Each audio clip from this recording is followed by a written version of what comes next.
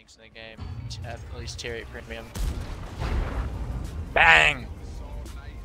Sit. Oh, hello. I see a double. Just fired. oh, crap. Boom.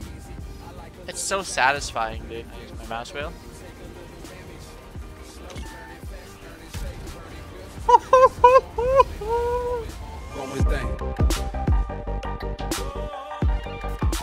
Hey guys, how's it going? So in today's video, we're going to be talking about the Object 703 version 2. Now it's a Russian tier 8 heavy tank, it's a premium, and the cool thing about it is it has two barrels. So Wargaming just put it into the premium shop uh, a few days ago, and they're doing a deal where you can buy the tank, just the base bundle, and you can keep it for 14 days, play as many games as you want. And if you don't like it and you, you can return it within those 14 days, make a ticket in the uh, support page and you'll get your full money's worth back. So I thought it was a really cool deal and it kind of led me to talk about the tank a little bit, how to play it, how to free market even, and uh, if you're facing one, what to do. So uh, I'll show you guys some gameplay, talk a little bit about the stats, and I hope you guys will enjoy. Peace. Alright, so let's go ahead and talk about the main thing with this tank, the two guns. Now, the two guns, they both hit for 390 apiece, and how they work is you can fire one at a time if you'd like, or you could set a keybind. I have mine as shift, so I would hold down shift and there's a three second cooldown, and after three seconds, both shells will fire. So sometimes if you're trying to lead a tank, you kind of have to keep aiming with it, and it does seem a little bit awkward to do, so you need to time it properly. Or you can fire one at a time, and there's five seconds in between shells. So typically, I have mine at about 11 second reload. Instead of waiting the 11 seconds to reload your shell, you can fire your second shell after five seconds. So it gives your effective DPM uh, a much higher quantity. Now, that's something I want to talk about is the effective DPM because after you double shot, there is five seconds added. Five actually, it's four seconds added to the reload, overall reload of both uh, shots. So you have to wait four seconds, then you can start reloading normally again. And that might seem like a long time, but if you're thinking about it, you make one poke, maybe you get hit once for it, but you shoot two in return. So it makes your effective DPM, the how much damage you're actually doing, not just raw numbers, much higher. Now, the second thing I want to talk about is the armor. So, like, let's uh, look at this tank compared to the Defender. You can see this tank is very, uh, it is angled, but it's like, it's a flatter armor. So even though it's very nicely armored, it's definitely a flatter armor, and you could shoot here, you could shoot here. It's all pretty much about the same. Obviously, the lower plate's the weak point, but if you look at a tank like the Defender, a tank that probably does have better armor, very well angled, different angles at each points. Um, the more you side scrape, the flatter this is. So with a pike nose, you want to like drive straight at someone to angle. With this tank, it's a very good side scraper because it can angle like this. You're going to have trouble penetrating this unless you have very high penetration. And this whole area here is impenetrable. Now, one problem you do have is that if you over angle too much, the shot into the front sprocket is uh, very easy to hit and you can tr get tracked and uh, take damage for it. Something to think about. Now, I think the next two important things to talk about are the equipment and the ammo loadout. So for the equipment, I would like to run vents, vert stab, and improved aiming unit. And what that's going to do is just really allow you to hit those snapshots, uh, and it's also going to help your dispersion quite a bit to be able to hit those really long range shots that you just can sit and fully aim at. Uh, very helpful. Now, when it comes to the ammo loadout, um, the APCR is actually quite nice. Um, you know, as I said, it's 390 alpha, but you got 221 uh, penetration with that APCR shell speed. And then the heat is also very nice. It's 270. Um, I don't see myself shooting a lot of heat typically because it does take a bit longer to load because you have to do load two shells, obviously. And then the HE is actually really good because if you think about it, you can double shot HE at someone who's like hold down, and you can't pen them, and hit them for like maybe three, 400 damage uh, instead of just doing like 150. So that's actually kind of a cool thing to think about. Alright, so jumped into the gameplay here. We got Sand River Encounter, and I was really happy about this when I saw that I got this map on Encounter because it's just so fun to play, especially in a heavy tank. You get right up in their faces. Good matchmaking as well with only one arty. So, I like taking this middle position here. Very strong, especially for hold down tanks. And you can pretty much farm them as the enemy team tries to get up north or get up to our middle middle positions. So, as you can see, we've got the, the two shells loading in the middle. So to fire the double shot, you can hold shift or whatever your keybind is, and it will load them up for three seconds. You can cancel it any time by releasing shift. And you'll see me using that at, at some point in the battle. So up to this middle point, these light tanks are kind of pressuring up. See if we can get shot at the T-69. The guard crosses. Not today, buddy. So as you can see, like the accuracy is actually pretty decent for a 390 alpha gun. Like I, I feel pretty comfortable that I'm gonna hit my shots. I like it a lot.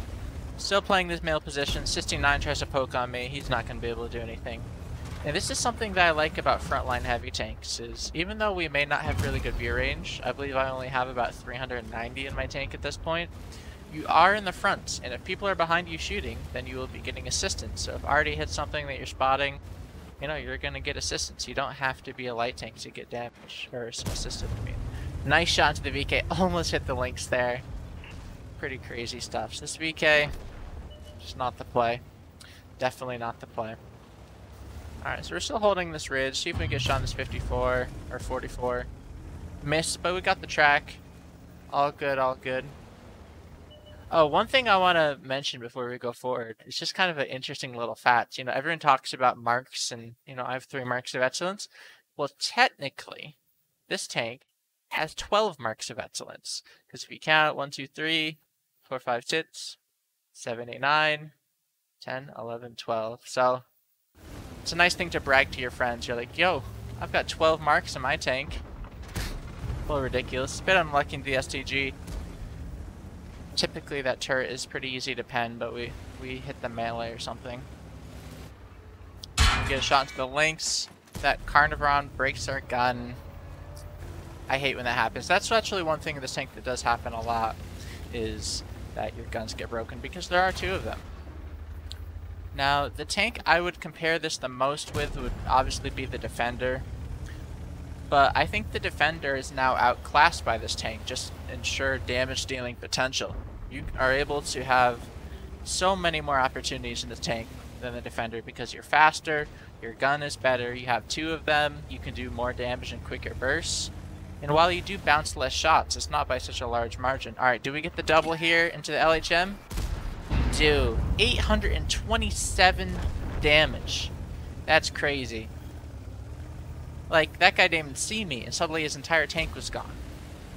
Now you can see our reload was a little bit longer than typical because we did fire the double. Oh look, got a shot. Now this is something I say that you should do in auto reloaders. I also think it's something you should do in this tank. You should always, always be taking damage when you get in. I guess, I guess you could say there are times when holding that second shell is better, but it's very, very rare.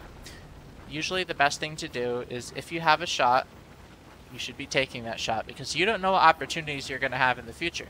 You could miss out on damage, you know, uh, by holding that shot. Then you're not able to shoot anything for a minute and you're like, why did I, you know, not fire? So in my opinion, unless it's a very tactical, specific situation, you should be firing when possible. So you're seeing a bit of the mobility here. We're able to do about 35, 40 down this down this ramp, getting into position. And we're winning the game right now. We're up four tanks, up about 2k HP. Beautiful physics there. And right now we're just pressuring up. We are able to use the dunes to cover. Let's see, we're going to shoot this 34-2 here. I didn't double there though. The reason for that being is it's a three second, you know, in between so you can fire your double. And I didn't know if that guy was going to be able to get away in that time. So often it's best to just take your damage, as I said, Beautiful. Like, look at that accuracy, though. That, that was just basically snapped off. Really nice alpha. I think the only other tank, in my opinion, that's maybe better. Whoa, we pre-aimed the double. Nice. 892. There's some high rolls. Wow. That That's just, it's so satisfying to watch. So, as I was saying, the only other tank that I think is better or even on the same level as this tank is the Renegade. The Renegade while it does have less armor, it's very mobile. Gun depression's great. The uh, the gold rounds in that tank just shred enemies with its APCR shell velocity and pen. The Renegade is an awesome tank. It's honestly my favorite tier 8 heavy. But I was playing the 703 the other day, and as you can see, this tank is a lot of fun. Not only does it do so much damage, the sound that it makes. It's the sound. When you fire those double barrels, there is no louder gun in the game. You can hear it from across the map. You know when somebody double fired, and there's 703. So we get the nice shot into the 34-2. We really want this end game damage here. It's kind of a quick game, actually. Only about six minutes. We're moving up. Nice shot into the T-32 to end it. Five kills, 4.6k damage, 1700 assist. Solid work there, the end. Now, as I mentioned before, Wargaming is selling this tank for a limited period. I believe it's for another uh, four or five days. And they're having a deal right now where you can buy the tank and you'll have 14 days to play it. And by the end of those 14 days, if you don't uh, like the tank, you submit a ticket or within those 14 days, and they'll totally refund all your money back. Um, I'll link the uh, Wargaming Premium Shop and the uh, support page if you're interested. Um, no pressure if you're not. We actually gave away one of these on my stream pretty recently, so if you're interested in maybe uh, getting some more giveaways, uh, go ahead and hit up my Twitch with a follow. I also have uh, Twitter, and you can join my Discord. Hope you guys will uh, enjoy those, and I really appreciate you guys watching, and we will see you in the next video. Peace, everybody.